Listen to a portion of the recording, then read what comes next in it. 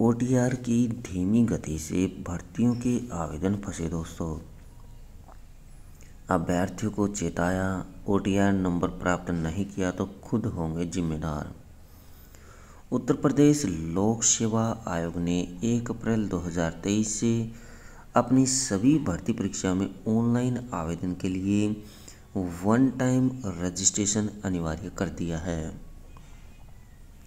OTR की संख्या अभी बहुत कम है। ऐसे में जिन भर्तियों के लिए आवेदन की प्रक्रिया चल रही है, उनमें बिना ओटीआर नंबर के अभ्यर्थी आवेदन नहीं कर पा रहे हैं। आयोग ने अभ्यर्थियों को चेताया है कि अगर ओटीआर नंबर प्राप्त नहीं किया तो भविष्य में आने वाली बड़ी भर्तियों के आवेदन से वंचित रह जाने पर अभ्यर्थी स्वयं जिम्मेदार होंगे।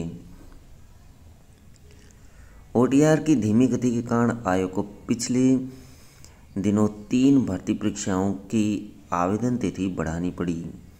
इनमें सहायक नियोजक परीक्षा 2023 के आवेदन की अंतिम तिथि 14 सितंबर से बढ़ाकर 21 सितंबर। स्टाफ नर्स परीक्षा 2023 के आवेदन की अंतिम तिथि 21 सितंबर से बढ़ाकर 29 सितंबर। और स्टाफ नर्स आयुर्वेद परीक्षा 2023 की अंतिम तिथि 4 अक्टूबर से बढ़ाकर 11 अक्टूबर करनी पड़ी। अगर ओटीआर को अभ्यर्थियों ने गंभीरता से नहीं लिया तो इसका खामियाजा खुद ही भुगतना होगा।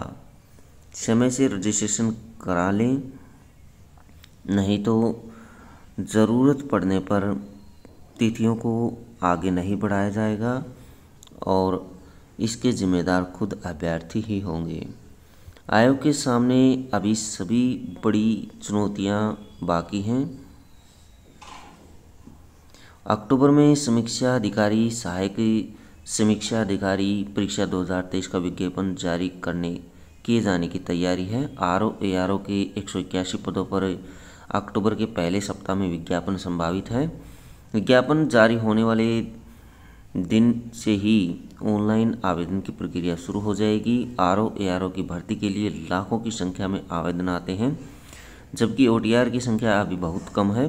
ऐसे में विज्ञापन जारी होने के बाद ओ नंबर प्राप्त न करने के कारण बड़ी संख्या में अभ्यर्थी आवेदन से वंचित हो सकते हैं।